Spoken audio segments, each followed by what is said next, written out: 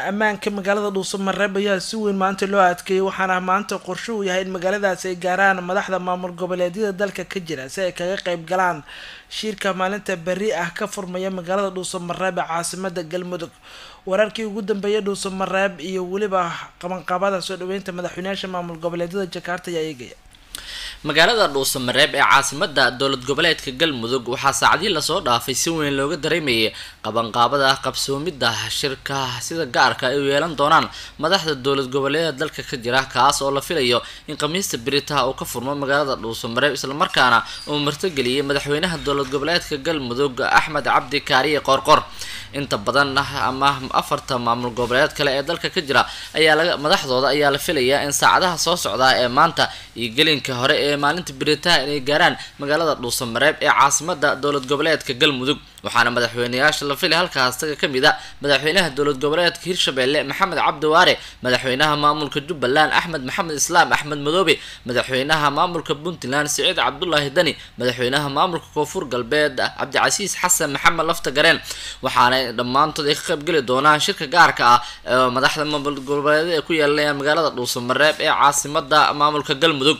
Waxaana maalinka hore saxaafadeed ay soo saareen ee shirkaasi ku sheegay inay hadlayaan arrimo ku saabsan sida ay ku dhici lahayd doorashada soomaaliya iyo sidoo kale ka tashi ku aadan ajandayaasha ugu muhiimsan oo ay kala hadli doonaan dowladda federaalka ah ee soomaaliya. Ha yeeshee waxaa xusid mudan in madaxda maamulada jubbaland iyo puntland warar soo baxay ay sheegayaan inay shuruur adag ku xireen markaasi inay tagaan magaalada dhuusamareeb taas oo ay qayb ka tahay in ciidamada harabcad oo ka tirsan ciidamada booliiska gaarka ah ee aadka u tababaran kuna sugan magaalada dhuusamareeb ee xilligii doorashada halkaas la geeyey in dib loogu celiyo magaalada muqdisho caasimada soomaaliya inkastoo saraakiisha hay'adaha laamaha amniga soomaaliya aysan si rasmi ah faahfaahin guud uga bixinin ha yeeshee la sheegay in dhammaan madaxda maamul goboleedyada magaalada dhuusamareeb isugu tagayaan si ay shirkaas kaga qayb galaan. Siyaasiyiin madasha xisbiyada qaran iyo qaramada midoobey ayaa si weyn u soo dhaweeyay shirkaasi ay ku tashanayaan madaxda dowlad goboleedyada. Waxa uuna ka dambeeyey kadib markii uu baaqda shirkii dhowaan uu iclaamiyey madaxweynaha soomaaliya maxamed cabdulaahi farmaajo islamarkaana u baaqay kuna casuumay madaxda dowlad goboleedyada iyo gobolka banaadir kaasoo qorsho u ah inuu dhooc shanta bishan ha yeeshee sababta baaqashadiisa ee qayb ka aheyd kadib markii ay diideen ka qaybgalka shirkaasi madaxda maamulada jubbaland iyo puntland oo khilaaf xoogan kana midaysan mucaaradnimada dowladda federaalka ah ee soomaaliya waxaana si weyn loo adkeeyay amniga guud ee magaalada dhuusamareeb iyadoona madaxweynaha dowlad goboleedka galmudug axmed cabdi kaariye qorqor oo maalmihii la soo dhaafay socdaalo kala duwan ku marayay deegaano ka tirsan galmudug uu safar deg deg ah dib ugu laabtay magaalada dhuusamareeb ee caasimada galmudug haddaba dhanka kalena galmudug ayaa ina qudhida si kooban kaga hadashay shirka beri oo khamiisa ka furmaya magaalada dhuusamareeb galmudug ayaa meesha ka saartay inay jiraan dhinacyo badan oo shirkaasi ku taageeraya ama dhaqaalo ku bixinaya shirka beri ka furmaya magaalada dhuusamareeb caasimada galmudug madaxda maamul goboleedyada ayaa la filayaa in maalinta berri ah ay ku kulmaan magaalada dhuusamareeb kaasoo shir ku yeeshaan. Shirkaas ay ku gorfeyn doonaan xaalada siyaasadeed ee dalka ka jirta. Madaxweyne axmed cabdi kaariye qoorqoor oo afartankii cishay ugu dambeysay safaro ku maraya deegaano ka mid a mudug iyo galguduud ayaa shalay gelinkii dambe dib ugu laabtay. Wasiirka warfaafinta maamulkaasi galmudug axmed shiri falagle waxa uu sheegay in galmudug ay qaadatay go'aanka raadinta masiiriga dalka islamarkaana ay isku keenayaan dhammaanba dhinacyada soomaaliyeed gaar ahaan madaxda maamul goboleedyada ayna ka tashanayaan sida uu sheegay siyaasadda iyo weliba arrimaha doorashooyinka oo khilaaf markan uu ka jiro wasiirka. Ayaa sidoo kale waxa uu xusay inay ka go-antaha ka maamul ahaanba in shirkaasi natiijo fiican ay ka soo baxaan oo ku saabsan jihaynta doorashada iyo weliba in la xaliyo khilaafka dowladda federaalka iyo qaar kamida maamul goboleedyada dalka ka jira. Dowladda federaalka waqtigeedu gabagabo ku dhow ayaan ilaa hadda aan lahaynin nooca doorashaha ee soomaaliya waqtigani ka dhici kara. Waxaana sii xoogeysanaya khilaafka dowladda iyo weliba maamul goboleedyada qaarkood sida puntland iyo jubbaland wasiir falagle ayaa ku celceliyay ma jirto cid annaga taageero maaliyadeed ku bixinaysa shirkan amana siinaysa.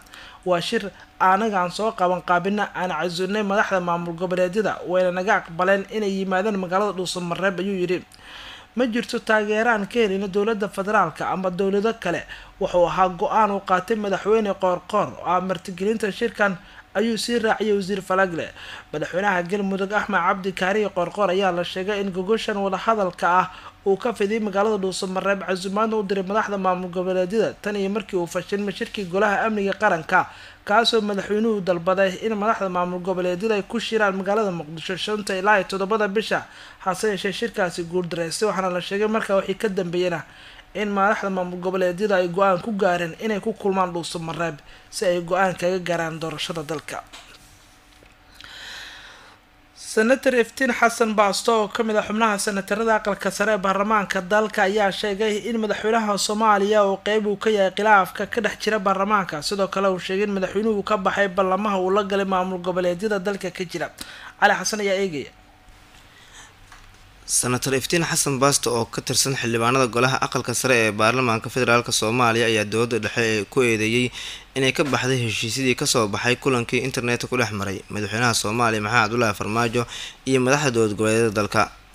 Waxa uu sheegay in madaxweynaha soomaaliya uu ka baxay dhammaan heshiisyadii lagu gaaray shirkaasi islamarkaana ee sababtay inuu baaqdo shirkii golaha amniga qaranka madaxweynaha soomaaliya ayuu sidoo kale ku eedeeyey inuusan waxba ka fulin qodobadii uu ballan qaaday islamarkaana uu ku howlan yahay howlgallo kala fogeyn ah. Waxa uu sheegay in maamulka jubbaland uu ka soo jeedo ay ka qaybgeli doonaan shirka maamul goboleedyada ee sagaalka bishan ka furmi doono magaalada dhuusamareeb senator iftiin xasan baasto ayaa nasiib darab iyo fashil ku tilmaamay in madaxda dowladda dhexe ee soomaaliya ka maqan yihiin shirka ka dhacaya dhuusamareeb islamarkaana waxa uu tilmaamay in dowladda dhexe ay ku howlan tahay kala fogeynta baarlamaanka federaalk soomaaliya. Laiskugu imaanaya dowlad goboleedyada. Zoom buu kula shiri. Aqalka sare ayaa wuxuu go'aansaday arinta caqabadaha dalka ka jira iyo dhibaatooyinka dalka maanta ka jira inuu wax ka qabto. Wixii ummadda soomaaliyeed sugaysana uu bidhaamay aqalka sare. Waad maqlaysa sida gudoomiye cabdi xaashi uu u sheegay marxaladda dalku maanta uu maraya badbaadana uu u baahan yahay taa ayaa marka sabab u ahayd in madaxweynihii mu ogola qof wax qaban kara ama dalkii badbaadan kara gadaashiisa inuu ka arko waa ku dhibaato. Soomaalidu waxay tidhaahdaa waxay ilhaysa ilaalmo ka dhan. Waxa aad arkayseen oo laga wada hadlaya waxay ahayd zoom baa lagu wada hadlay. Wixii lagu wada hadlay qodobadii waa waad ogeedeen. Uma baahna taas hadda faahfaahin. Madaxweynaha wuxuu ballan qaaday waxa golaha shacabka ka socdo. Sharcigan oo dastuurka la baalmaraayo inuu joojiyo shirna laiskugu yimaado dee fulin waynta maxa ay ka timid waa madaxweynaha jamhuuriyadda federaalk soomaaliya wuxuu u ballan qaaday ayuu fulin waay.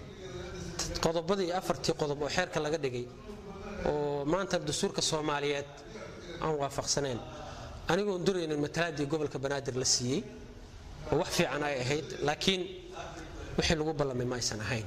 Taa ayaa sabab u noqotay shirkii inuu fashilo hadda waxaan soo dhawaynaynaa maanta shirka dowlad goboleedyada ay ku baaqeen oo laiskugu tegi doono dhuusamareeb waxaan leenahay arrintaas arrin guula waaye dalkan maanta wuxuu u baahan yahay badbaado wuxuu u baahan yahay samata bixin.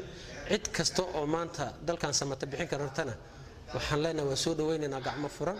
Aad iyo aad baan ugu kalsoonnahay insha allahu tacaala waana badbaadi doonaa. Ummadda soomaaliyeed markay wax ka halaabaana waa tashan jireen meel bay iskugu tegi jireen. Markay meel ka halaabdo meel kale ay aadi jireen. Maanta waxaan ku bogaadinaynaa dowlad goboleedyada inay iskugu tagaan. Dhuusamareeb wax dalka anfacana ay keenaan. Haddii ilaahay idmo. Aqoonsiga dowlad federaalka waxaan filayaa arrintaas arrin constitution oo dastuuri oo sharci ah waay. Waxaa dhigaya dastuurka federaalka soomaaliya dastuurka dowlad goboleedka jubbaland way iswaafaqsan yihiin. Dowlad goboleedka jubbaland madaxweyne axmed maxamed islaam waxaa lagu soo doortay dastuur ee in loo sacbiyo meesha iskama imaan. Doorashuu ku yimid mandate buu leeyahay xilli buu leeyahay. Xilligiisi markuu u dhammaadana ama doorashuu aadaa ama shacabku wuxuu leeyahay qofkaad doontaan soo doorto. Haddii codka mar labaad mar kale ay siiyaanna waa hadee taas waa wax isaga ku xiran iyo wuxuu shacabkiisa kala yimaado. Laakiin uma baahna maanta in loo yeeriyo laba sanaan ku siiy hal sanaan ku siiy iyo sharcigaa ka weyn waxa qofka uu bixiyo. Inaba sax ma aha. Inaba sax ma aha. Senator eftiin xasan baasto yuu kaasi ahaa oo ka mid ah xubnaha senatarada ee ka mid ah aqalka sare ee baarlamaanka dalka. Milatariga soomaaliya waxaa la sheegay in howlgal ay ka sameeyeen shabeellaha hoose meelo ka mid a gaar ahaan waddada dhacda xeebta ah ee degmada marka duleedkeeda waxaana la soo sheegay in halkaas iska horimaad kooban deetana ciidamadu ay saakay howlgal ay ka fuliyeen howlgalka ayaa saraakiisha militariga ku sugan deegaanka ee la yiraahdo gandersha iyo weliba deegaanada kale ay jili marka ay qeyb ka tahay. Maamulka deegaanku ay sheegeen in howlgalka uu yimid kadib markii ay ka hortageen al-shabaab weerar isku dayeen inay ku soo qaadaan. Halkaasi sida ay noo sheegeen mas'uuliyiinta maamulka degmada marka ee gobolka shabeelle hoose